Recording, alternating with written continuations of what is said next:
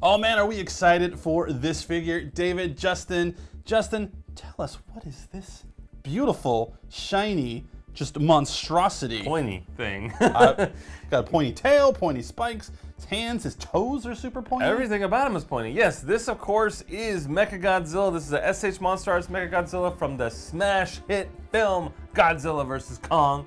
One of the one of our highlights of 2021, if you will. Right, and he was he was he was robbed. He was he clearly had defeated Godzilla, Yeah. and then that cheater, that swindler, that no good ape, God, King Kong came and jumped on his back like the real coward he is. Oh, Mega man. Godzilla, justice for Mega Godzilla. He needs it. I think we saw two different movies. he, No. was, he was bad.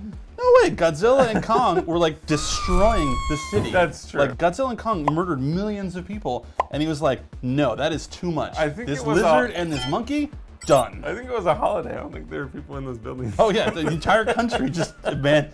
I saw lots of people in the streets. Right, right, yeah. I think everyone's fine, no big deal. But yes, Mechagodzilla is a gorgeous figure. It's seven and a half inches tall. It's made from plastic and it's got die-cast joints. Uh, it's really beefy. Uh, this tail, my goodness, do you want to take a guess on how long this tail is? Uh, it is quite. It's articulated, so that's exciting. It is. I'm gonna say seven inches is the tail.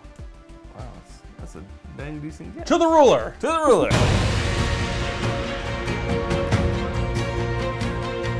Look how beautiful.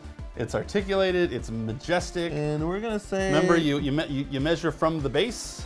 Everybody knows that, Justin. No cheating. Yeah, so you're looking at about nine and a half inches of tail right there with the spike. That's that's respectable. That's a that's a decent tail, Dave. that is.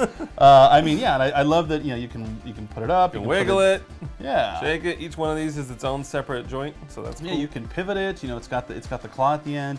Uh, he has two se- two sets of hands. One for kind of like that blast effect he had. One that is kind of like a more a more soft, pliable, to where you could uh, maybe pick up that no good, dirty King Kong or that rascal Godzilla and just teach him a thing or two. It's like in tag team when there's when the after they tag, the partner comes in for like an extra five or six seconds to help beat up. Yeah, it's And like I- a handicap match. I know it, it ain't right, but no, this figure's amazing. It's a lot of fun. He is, and, and I love the detail. I mean, it's a it's a metal monstrosity. I'm, you know, spoiler alert. I'm a big Mechagodzilla fan. I love the, you know, the the old like Showa era, you know, like the the goofy looking ones. But yeah, this one is just uh, just so awesome. You know, I love the lights. I can't wait till someone does a custom job to where they actually put LEDs in this thing. It's gonna look Ooh, incredible. Ooh, yeah, it's pretty good. The flexibility on this is surprising for you know what is in essence you know a machine like a Right. robot. Yeah, and it has like really cool pistons and gears going on in it. It's pretty neat. Yeah, I'm just looking at like the interior details, you know, the, the mechanics of it all, you know, it looks, you know, you can kind of see how it moves and how it works and stuff like that. And, you know, just really makes you feel bad for him. I know.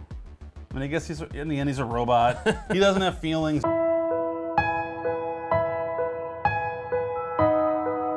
He doesn't have feelings, it's fine. I don't know, man. There's some movies that make you feel otherwise when it comes to robots. Well, Godzilla vs. Kong was not one of them. You're like, yeah, Sure. beat up that robot. I know. Sometimes I feel really sad when I see robots getting injured. Like Iron Giant. Oh, that's a bad one. Yeah. Or when. Bumblebee's getting all captured.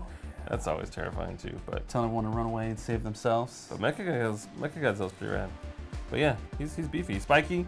Uh, it wouldn't be uh, a Godzilla figure if you didn't hurt yourself in some form or another when it comes to these spikes.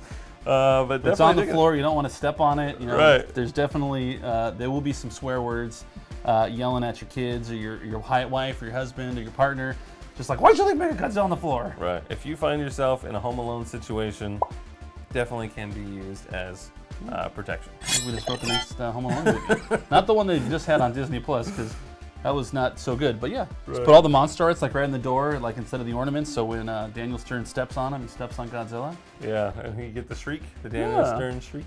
Uh, so yeah, so I love this figure. Uh, when is this available? This should be available in January of 2022. Very excited about that. It retails for $150. You got your, your plastic and your die-cast joints. This thing's beautiful. It's gorgeous. Yeah, and so and when you get it, and when you take the inevitable pictures next to your Kong or Godzilla or anything in the Monster Arts catalog, you know, make sure to tag us in all of your posts. We're at Bluefin Brands or hashtag Bluefin Brands.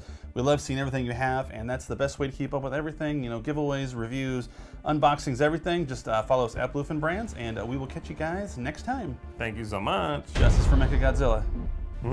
Hashtag. it's not a thing. It's a thing. No. I'm gonna make it a thing. Bye.